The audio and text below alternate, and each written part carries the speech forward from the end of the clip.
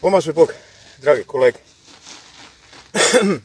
Kao što vidite, nalazimo se na jednom improvizovanom pecalištu, a cilj nam je razbijemo jedan mit i da raskrinkamo jednu zavveru i zabludu.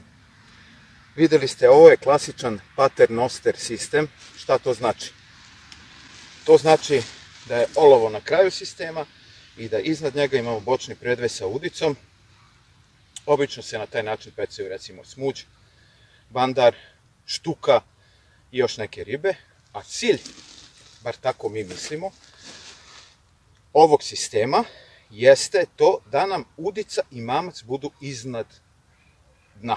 Dakle, da budu ponuđeni u, nekoj, u nekom sloju pridnenom, ali ne na samom dnu. Šta se zapravo dešava? Čak i kada zabacimo relativno daleko, a vidjet ćete koliko sam ja sigurno jedno pa 40 metara daleko zabacio, ipak je i kada podignemo ovako visoko štap, dakle malte ne u nebo ga uspravimo, naša udica sa mamcem će i dalje da bude na dnu. Sad ćemo to da vam pokažemo. Idemo zajedno.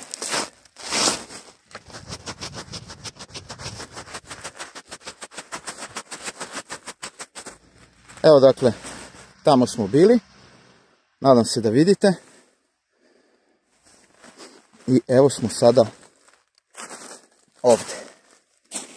Evo nam olova. I evo nam udice na samom dnu. Vidite?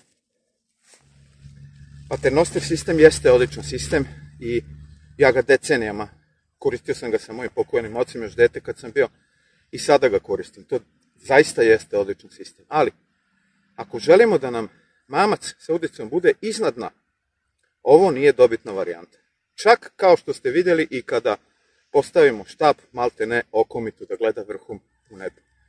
U takvim situacijama bolje je koristiti klasičan dubinski sistem sa klizećim olovom. Dakle, olovo, kroz olovo ide struna, može komotno i duži predvez da bude 50, 60, 70 cm i udica sa podizačem.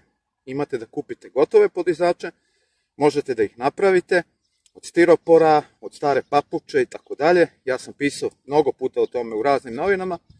U krajnjem slučaju za veće mamce, tipa kad pecamo soma, kad pecamo štuku, pampur običan iz flaše vina je odličan podizač, znači proturi se struna iglom kroz pampur, dovuče se do udice i onda imamo situaciju da nam je olovo na dnu, a podizač nam podiže mamac da lebdi pola metra, 30 cm već kako odredimo iznad dna. I tada imamo mamac koji je zaista iznad dna.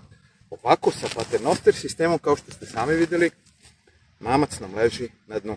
To je to za ovaj put. Vidimo se sljedećom prilikom. Pozdrav!